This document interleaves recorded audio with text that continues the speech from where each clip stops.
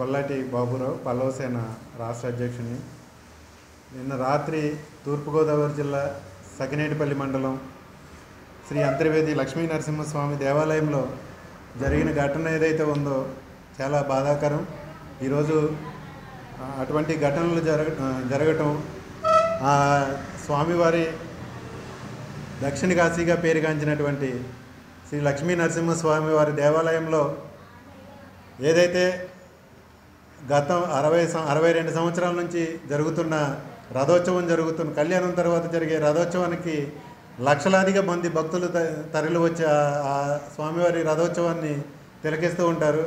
అటువంటి రథం నిన్న అగ్నికి ఆహుతైపోవడం అనేది చాలా బాధాకరం. ఆ ఘటన వెనకాల కొన్ని సంఘ విద్రోహక శక్తుల యొక్క ప్రమేయం ఉందని మేము బలంగా విశ్వసిస్తున్నాం.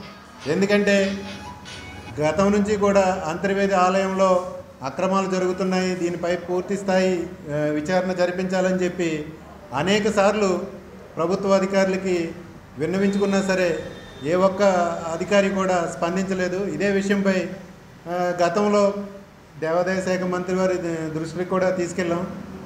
ఈరోజు దీన్ని అదునుగా తీసుకుని అక్కడున్న అధికారుల నిర్లక్ష్యం అనేది కొట్టొచ్చినట్టు కనబడుతుంది ఆ రథం కాలిపోవడం అనేది ఈరోజు ఆంధ్రవేది లక్ష్మీ నరసింహస్వామి భక్తుల యొక్క మనోభావాలు అనేవి తీవ్రంగా దెబ్బతిన్నాయి.